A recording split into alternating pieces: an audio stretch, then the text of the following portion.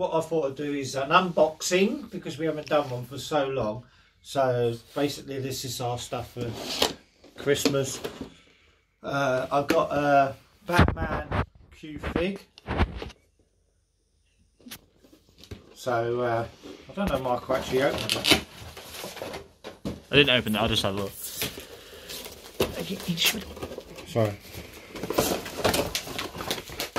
So you can show the box. and- Yeah, yeah, that's what I was doing. Obviously, don't do it on 30 seconds, Mark.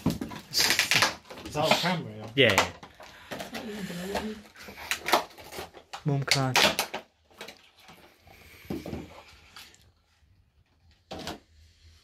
That's Gryffindor. No, it's the Ravenclaw. So, Ah. uh, Morag got a watch from Harry Potter. Sealed. That's sick. Yes. and to put my pods in. I don't know if they're going to work. Stitch. It's only a case. Eh? So they'll fit in, hopefully. What did you think was going to be? No, I didn't know whether it was going to fit. Oh, yeah, that's what I mean. It looks like it'll fit. Right, so. And we got loads of sweets from this seller. So, I know, how sweet was that? So probably me and Michael beating.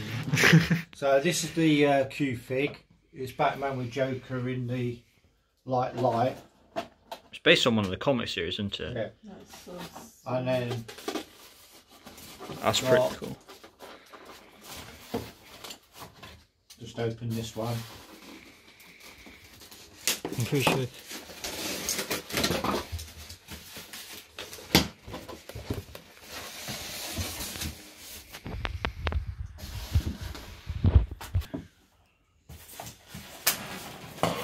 Right? Oh, you want me to talk about it? Yeah. Right, so this is uh, black and white uh, statue.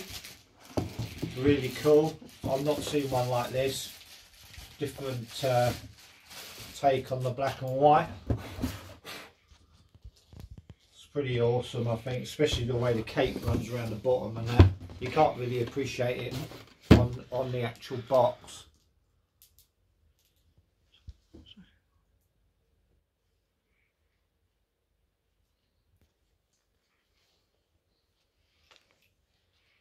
Obviously, you can tell we haven't done an unboxing video for ages because we haven't got the lazy Susan out to